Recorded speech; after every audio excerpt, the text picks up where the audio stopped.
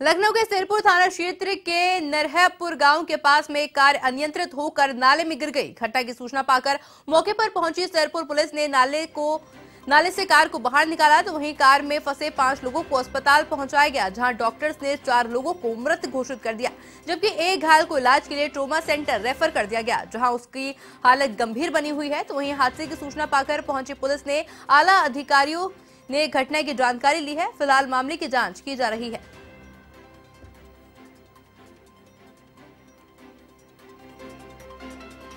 आपको बताया लखनऊ के नरहपुर गाँव के पास में ये पूरा हादसा हुआ है, जहाँ पर नाले में अनियंत्रित कार गिर गई है। जिसको देखते हुए जो है चार लोगों की मौत हो गई है तो वहीं एक का जो है इलाज लगातार जारी है। तस्वीर आप इस समय देख सकते हैं। कार की बहुत बुरी स्थिति जो है, कार की समय देखी जा सकती है। लखनऊ के नरहरपुर के पास में पूरा हादसा हुआ, जहाँ अनियंत्रित होकर कार नाले में जा गिरी, जिसके बाद में चार लोगों की दर्दनाक मौत हो गई है। तो वहीं एक घायल का इलाज जो है, जारी है। तो ये आपको बताया घायल को ट्रॉमा सेंटर रेफर किया गया है, जहाँ पर लगातार डॉक्टर्स की निगरानी में इलाज जारी है।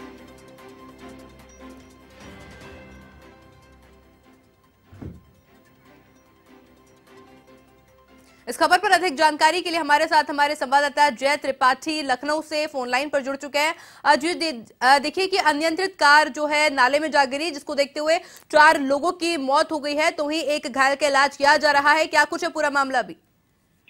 देखिए आयुषी जिस तरीके से लखनऊ के सैरपुर थाना क्षेत्र में, ये नरहरपुर गाँव था, जहाँ पे अनियंत्रित होकर ये कार गिर गई, और जिसमें आपको बता दें कि इस तरीके से मौत हुई। उसके बाद से आज सुबह की अगर हम बात करें तो इंस्पेक्टर सुनील कुमार तिवारी जो है, पुलिस टीम के साथ वहाँ पहुँच गए हैं और बचाव राहत कार्य में अभी भी लगे हुए हैं। और जो वहाँ मृतकों के शवों को है, वो कहीं ना कहीं बाहर निकाला जा रहा है। और जो लोग मृतक हैं, उन लोगों को पीएम के लिए, कार्रवाई के लिए पोस्टमार्टम के लिए कार्रवाई के लिए भेज दिया गया है। साथ ही साथ आपको बता दें, ये जो गाड़ी थी, उपभोक्ता फोरम के रिटायर्ड जज थे, उनके ड्राइवर के बेटे और उनके साथ उनके दोस्त लोग बैठ के जा रहे थे, जिसमें संदीप यादव जो था, वो ड्राइवर का बेटा था। इसमें निखिल शुक्ला, अंकित श्रीवास्तव भी ये थे, और जिनकी आपको बता दें कि मृत्यु हो गई है। और उसी में सत्यम पांडे जो बैठा था, वो सुरक्षित लेकिन अभी गंभीर है उसका इलाज चल रहा है। और अगर इस गाड़ी की बात की जाए तो जो ये गाड़ी थी, वो कहीं ना कहीं सरकारी नंबर की थी, जिसको ड्राइवर अमरनाथ ने नीलामी में खरीदा था।